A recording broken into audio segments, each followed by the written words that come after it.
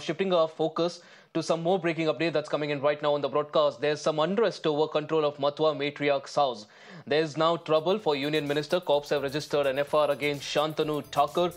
He's been accused of breaking locks and trespassing, and this is trouble now for the Union Minister. Of course, uh, this is in connection to the unrest over the control of Matua matriarch's house, and the cops have now registered an FIR against Shantanu Thakur.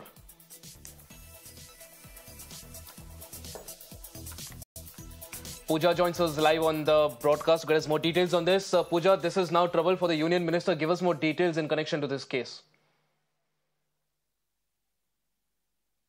Uh, well, absolutely, Ashish. FIR has been registered by the West Bengal Police against Union Minister Shantanu Thakur.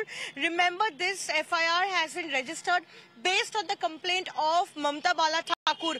The Trinamool Congress and Mamta Bala Thakur shared a video yesterday showing and also claiming that Shantanu Thakur had broke open the locks of the uh, premises that belongs to Mamta Bala Thakur and the temple also and he tried to barge in. Thereafter this FIR has been registered and sections of trespassing, intimidation has been slapped against him.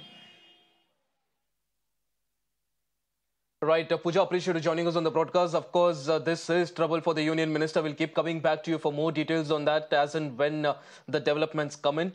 Meanwhile, shifting tracks now onto some more breaking update that's coming in right now on the broadcast.